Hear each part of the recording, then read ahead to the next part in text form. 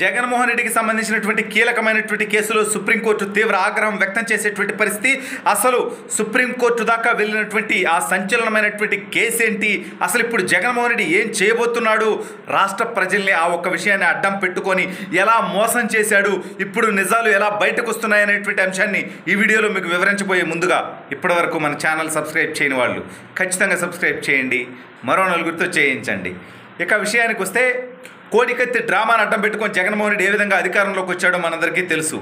తన మనిషితోనే కోడికత్తితో గుచ్చిపిచ్చుకొని అతని జీవితాన్ని జైలు పాలు చేసి ఆంధ్ర రాష్ట్ర ప్రజల్ని ఓ నాయన ఓయమ్మో నన్ను చంపేస్తాడారు చంద్రబాబు నాయుడు లోకేష్ బాబు నన్ను చంపనీకి కోడికత్తి పంపినారు అని చెప్పి చిల్లర కథలు పడ్డం మనందరం చూశాం. అధికారంలోకి రావడానికి కోడికత్తి డ్రామా బాబాయిని వేసుకుంటూ పింకు డైమండ్ డ్రామా కమ్మ డిఎస్పీలు అని చెప్పి డ్రామా ఈ రకంగా అనేక రకాలైనటువంటి అబద్ధాల మీద ఒక మేడ నిర్మించుకొని దానితో అధికారంలోకి వచ్చినటువంటి వ్యక్తి జగన్మోహన్ రెడ్డి. అయితే అధికారంలోకి వచ్చిన తర్వాత ఒక్కొక్క నిజాలు బయటకు వస్తున్నాయి. పింక్ డైమండ్ అసలు లేదని చెప్పి నిజం బయటకు వచ్చింది. కమ్మ వాళ్ళకి ముప్పై ఐదు మందికి డిఎస్పీలుగా ప్రమోషన్ ఇవ్వలేదు. కేవలం ఇద్దరు మాత్రమే ముప్పై ఐదు మందిలో కమ్మ వాళ్ళు అని చెప్పి నిజం బయటకు వచ్చింది. అదేవిధంగా బాబాయిని వేసేసింది వాళ్ళ కుటుంబ సభ్యులే అని బయటకు వచ్చింది. ఇక సంచలనమైనటువంటి కేసు ఏంటంటే తన మీద తానే వేయించుకున్నటువంటి Bihar dacoit Prashant Kishor drama company నుంచి వచ్చినటువంటి కోడికత్తి డ్రామా. ఆ కేసులో ఉన్నటువంటి కోడికత్తి సీను రాష్ట్ర ప్రజలారా ఈ అంశాన్ని చాలా కీలకంగా గమనించండి. ఎందుకు చెప్తున్నా అంటే బాబాయిని వేసేసుకుంటే ఏది? అత్యంత పాశవికంగా గొడ్డలతో నరికి నరికి నరికి నరికి చంపితే ఆ కేసులో నిందితుడిగా ఉన్నటువంటి అవినాష్ రెడ్డి బెయిల్ మీద ముందస్తు బెయిల్ మీద ఉన్నాడు.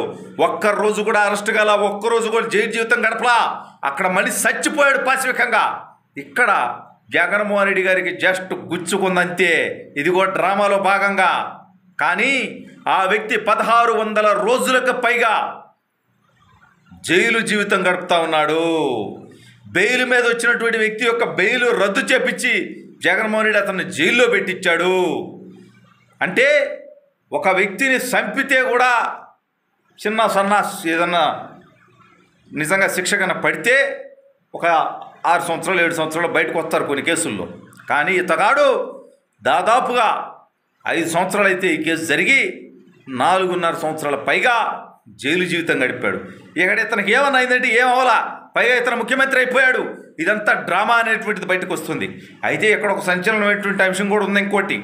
ఏంటంటే అతగాడు బయటకు వస్తే అతన్ని వేసేసేటువంటి అవకాశం ఉంది. ఎందుకంటే ఇది డ్రామా అని బయటకు వస్తే ఇతను పొరుగు మళ్ళీ పోద్ది కదా. బయటకు వచ్చేది బొక్క డ్రామా అని మీకు అర్థం కావట్లేదా? ఇవాళ రాష్ట్ర ప్రజలందరూ కూడా ఆలోచించాల్సినటువంటి అవసరం ఉంది. ఇవాళ ఆ కోడికత్తి సీను సుప్రీంకోర్టును ఆశ్రయించాడు. అయా పదహారు రెండు వందల రోజులకు పైగా నేను జైలు జీవితం గడుపుతా ఉన్నాను. నా తల్లిదండ్రులు ఇబ్బందులు పడతా ఉన్నారు. వాళ్ళు ముసలి వాళ్ళు వాళ్ళు పని చేసుకోలేనటువంటి పరిస్థితిలో ఉన్నారు. నేను బయటికి వెళ్ళి నా తల్లిదండ్రిని పోషించుకోవాల్సినటువంటి అవసరం ఉంది. నాకు బెయిల్ ఇవ్వండి అని అడుగుతూ ఉంటే ఆ కోడికత్తి సీనుకు బెయిల్ రావట్లా. దళితుల మీద నాకు ప్రేమ రెండు చెంపల మీద కారిపోతుందని చెప్పేటువంటి జగన్మోహన్ రెడ్డి గారు కోడికత్తి సీను విషయంలో ఎందుకు ఎంత దారుణంగా ఉన్నాడు? పదహారు వందల రోజులు జైలు జీవితం. ఇక్కడ మర్డర్ చేసినోడేమో పదహారు గంటలు కూడా జైల్లో లేకుండా బయట తిరుగుతాడు బెయిల్ మీద. ఏ మర్డర్ జరగకుండా చిన్న గాయం అది కూడా డ్రామాలో భాగంగా ఆర్టిస్ట్గా ప్లే చేసిన పాపానికి ఒక దళిత యువకుడు కోడికత్తి సీనేమో పాపం జైలు జీవితం గడుపుతాడు తన తల్లి తండ్రి ఆవేదన పడతారు. ఆ కోడికత్తి సీను తల్లి తండ్రి జగన్మోహన్ రెడ్డి గారిని కలిసి అయా నా కుమారుడిని దయచేసి క్షమించి రిలీజ్ చేయమని చెప్పి అడుగుదామని వస్తే వాళ్ళకి అపాయింట్మెంట్ కూడా ఇవ్వనటువంటి వ్యక్తి జగన్మోహన్ రెడ్డి. కానీ బాబాయిని వేసేసినటువంటి తమ్ముడు అవినాష్ రెడ్డికి మాత్రం అసెంబ్లీ వేదికగా అవినాష్ రెడ్డి నా ఒక కన్ను ఒక కన్ను ఇంకో కన్ను ఎందుకు వేసేస్తుంది? వివేకానంద రెడ్డిని అవినాష్ రెడ్డి వేసేయలేదు అని చెప్పి విచారణ సంస్థలతో సంబంధం లేకుండా సర్టిఫికేట్ ఇచ్చినటువంటి వ్యక్తి. మరి వాళ్ళు ఖచ్చితంగా సుప్రీంకోర్టు కూడా ఈ అంశాలన్నీ కూడా పరిశీలిస్తుంది. ఖచ్చితంగా పదహారు వందల రోజులుగా ఒక చిన్న కేసులో నిందితుడు జైలు పాలు అవ్వడాన్ని చట్టం న్యాయం ఒప్పుకుంటుందని నేనైతే అనుకోవట్లేదు. ఖచ్చితంగా సుప్రీంకోర్టు దీని మీద తగిన చర్యలు తీసుకోవాలి. కోడికత్తి సీనుకి న్యాయం చేయాలి.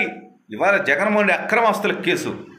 వేల కోట్ల రూపాయలు ప్రజాధనం దోచుకొని అతగాడు కూడా పన్నెండేళ్ళుగా బెయిల్ మీద బయట తిరుగుతూ ఉన్నాడు. సరే పదహారు నెలలు జైల్లో చెప్పకూడదు తిన్నాడు అది వేరే స్టోరీ. చేసిన తప్పుకు తిన్నాడు.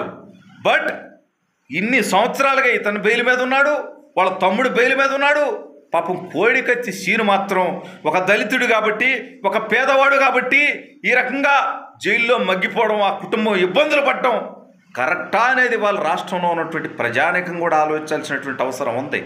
ఎందుకంటే మీ ఆలోచన లేకపోవడం వల్లనే గత ఎన్నికల్లో ఈ మోసకారి అబద్ధాలు చెప్పి అధికారంలోకి రాగలిగాడు.